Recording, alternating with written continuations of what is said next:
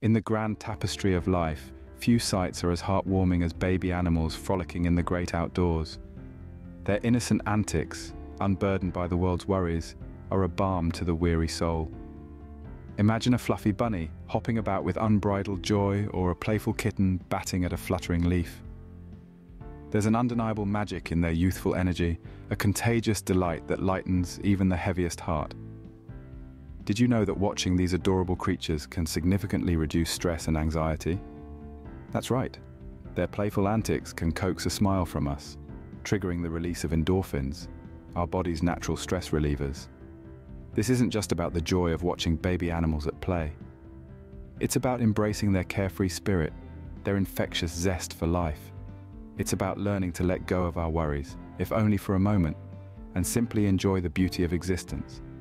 So the next time you're feeling overwhelmed, remember these baby animals and their boundless joy. Let it inspire you, comfort you, and above all, remind you to take a moment to just breathe and smile.